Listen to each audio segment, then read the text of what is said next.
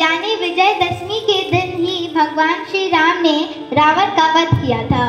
भगवान श्री राम ने लंका के राजा रावण से युद्ध लड़ा और उसे पराजित करके असत्य पर सत्य की जीत का संदेश दिया। रावण को दशानन भी कहते हैं, क्योंकि उनके दस सिर हुआ करते थे। दशहरा के पर्व पर रावण का पुतला दहन की परंपरा ऐसा इसलिए क्योंकि इस दिन बुराई पर अच्छाई की जीत का जश्न मनाया जाता है।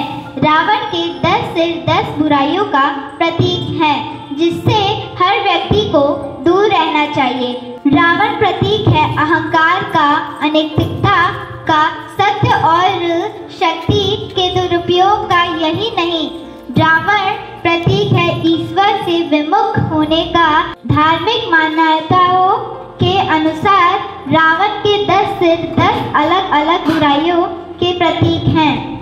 दस सिर का अर्थ है काम, क्रोध, लोभ, मोह, घमंड, ईर्ष्या, वासना, भ्रष्टाचार, अनैतिकता और अहंकार।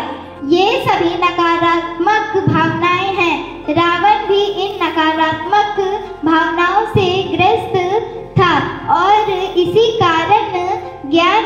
श्री संपन्न होने के बावजूद उनका विनाश हो गया। आइए, विजयदशमी पर हर साल हम खुद को राम मानते हुए रावण वध करें और अपने अंदर के दशानन की पहचान करें तथा सभी बुराइयों का दहन करें। जय श्री राम। जय श्री राम।